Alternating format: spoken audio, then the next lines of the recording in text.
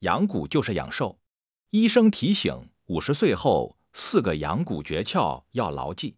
李先生今年五十四岁，是一个资深的养生人士。他坚信养骨就是养寿，所以他不仅身体力行地践行着科学的养生方法，还积极的将养生观念传递给邻里，与大家共享养生的乐趣与益处。而他的挚友张先生对此却持有不同看法，两人时常围绕养生理念展开热烈的讨论，各执一词，难分高下。为此，两人决定携手前往医院。他们找到了骨科医生，希望从医学角度获得对养生，特别是骨骼养护重要性的深入理解。医生听后，首先表达了对李先生观点的认同。李先生所言极是，特别是在人过五十之后，骨骼保养显得尤为重要。骨骼作为支撑我们身体的基石，它的健康状况确实会关系到生活品质与长远健康。事实上，许多步入五十岁门槛的人们，如同张先生初时那般，对于养骨及养寿知之甚少。鉴于此，今天我们就来好好的聊一聊相关话题。一、为什么说养骨？就是养寿，养骨就是养寿吗？这句广为流传的话，其实是有一定道理的。骨骼健康不仅仅关系到人体的结构支撑，它也是人体的支柱，支撑和保护着各个器官和组织。这是因为人体的骨骼系统由两百零六块骨头组成，它们共同构成了人体的基本框架，使人能够直立行走、运动和进行各种活动。依据美国国家骨质疏松症基金会的权威数据，美国境内约有千万民众罹患骨质疏松症，而骨密度未达健康标准的群体更是高达四千四百万之众。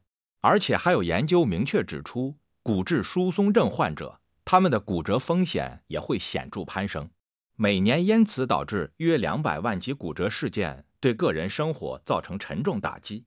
骨骼一旦受损，如骨质疏松或骨折的发生，不仅限制了个体的日常行动自由，还可能触发一连串负面效应，全面削弱生活质量，让健康生活的追求面临严峻挑战。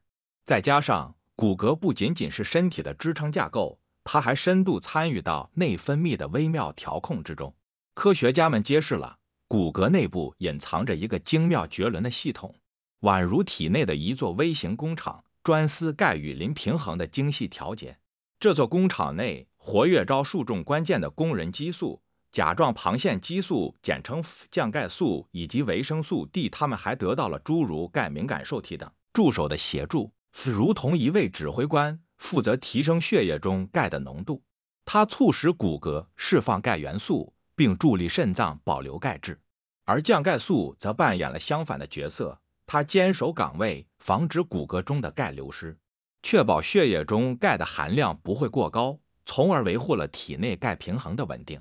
其中，维生素 D 被誉为阳光维生素，源自阳光照射或食物，它助力肠道钙吸收，并调节肾骨中的钙平衡，对骨骼强健至关重要。骨骼问题如骨质疏松、骨折会扰乱维生素 D 及钙磷平衡机制，导致骨骼脆弱。并可能波及胰腺、甲状腺等内分泌器官，增加糖尿病、甲状腺疾病等健康风险。特别是近年来的研究表明，骨骼健康与心血管疾病之间存在密切关联。而且很多人不知道，骨质疏松症与动脉硬化、高血压等心血管疾病有共同的危险因素，如钙质代谢异常和慢性炎症等。保持骨骼健康不仅可以预防骨质疏松，还能间接减少心血管疾病的发生风险，从而提高整体健康水平。在深入理解了骨骼健康对整体健康的重要性之后，我们不禁好奇：当一个人步入五十岁之后，人体的骨骼会经历哪些具体的变化呢？二、五十岁后骨骼会发生哪些变化？人们在五十岁以后。人体的骨骼会经历一系列显著的变化，这些变化对我们生活质量的影响还是挺大的。其一就是骨密度开始下降。骨密度是衡量骨骼强度、健康状况的关键指标，反映了骨骼中矿物质含量，尤其是钙质的浓度。五十岁后，骨骼新陈代谢平衡逐渐被打破，骨吸收速度超过了骨形成速度，尤其在绝经后，女性表现更为明显，因此激素水平骤降，失去了保护作用，导致骨密度快速减少。而国际骨质疏松基金会数据显示，绝经后女性年骨密度降幅可达百分之一到二，十年内减幅更高达百分之十到二十。对骨骼健康构成重大威胁。相比较而言，男性虽然降速较慢，但五十岁后年降幅也约百分之零点五到百分之一。睾酮水平随龄递减，同样损及骨骼健康。其二，肌肉量随年龄增加而逐渐萎缩，这一现象被称为肌少症。实际上，肌肉的减少速度随年龄增长而显著加快。平均每年可下降百分之一至百分之二，而肌肉量的减少不仅削弱了骨骼所依赖的支撑与保护屏障，还导致了身体在维持平衡与协调方面的能力下降，从而大幅提升了跌倒与骨折的风险。我们要明白，肌肉与骨骼之间存在着紧密的共生关系，强健的肌肉能有效延缓骨密度的流失速度，反之。肌肉的萎缩则会加速骨质的丧失，形成恶性循环。其三，骨量丢失也是五十岁后常见的骨骼变化，这标志着骨骼内部的矿物质含量逐渐降低，进而对骨骼的整体构造与功能产生不利影响。而导致骨量流失的主要因素其实是激素水平的显著波动、营养物质的吸收能力减退，还有身体活动的缺乏。科学研究揭示，钙与维生素 D 摄入的不足，以及长期保持久坐不动的生活模式，均会加速这一过程，使得骨骼变得更加脆弱，显著提升了骨折与骨骼变形的风险。所以，当人们步入五十岁之后，为了维护整体健康，务必重视并精心养护骨骼。那么，具体有哪些有效的骨骼养护技巧呢？三，医生提醒：五十岁后。四个养骨诀窍要牢记。人体的各项生理功能逐渐步入衰退期，骨骼系统也不例外。特别是对于步入五十岁的人群而言，骨骼的健康状况直接关系到整体的生活质量和健康水平。医生们普遍强调，五十岁后掌握并牢记四个养骨诀窍，对于维护骨骼健康至关重要。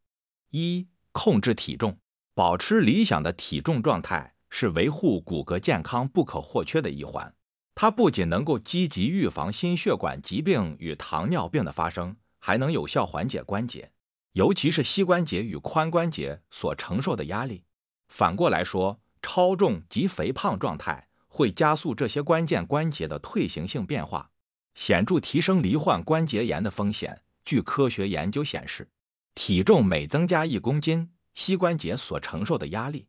可能急剧增加至原来的四倍之多，所以积极管理体重，避免肥胖，是增强骨骼健康、提升整体生活质量的关键所在。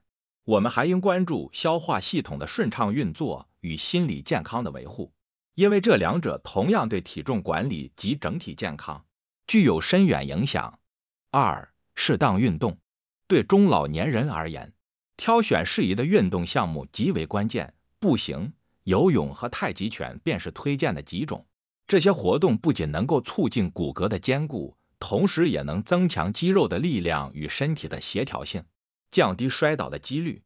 其中，步行是一项简便而高效的有氧活动，它不仅可以提升骨骼的密度，还有助于增进心肺的健康。建议每周至少完成一百五十分钟的中度步行，维持骨骼的强健。而游泳作为一种对关节影响较小的低冲击运动，非常适合有关节疾患的中老年人群。它能够全面锻炼肌肉，增强心肺功能，同时减轻对关节的负担。三、避免不良生活习惯。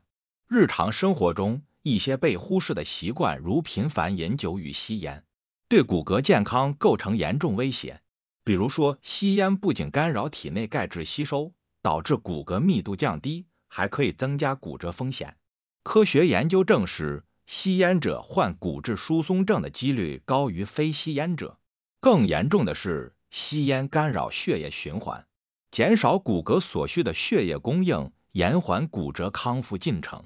另一方面，酗酒同样危害骨骼健康，酒精直接破坏骨骼细胞功能，抑制新骨组织生成，加速骨质流失，导致骨量显著减少。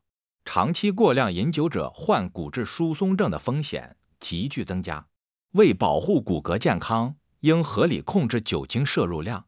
建议男性每日饮酒不超过两杯，女性不超过一杯，作为维护骨骼健康的重要措施之一。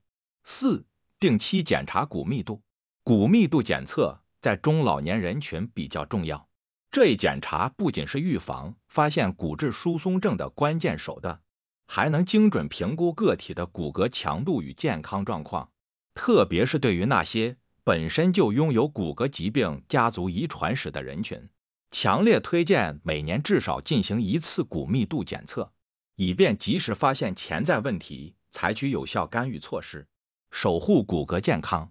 五十岁以后，骨骼健康面临更多挑战，但通过控制体重、适当运动、避免不良生活习惯和定期检查骨密度等措施，可以有效维护骨骼健康。牢记这四个养骨诀窍，不仅能预防骨质疏松和骨折，还能提高生活质量，保持我们的健康。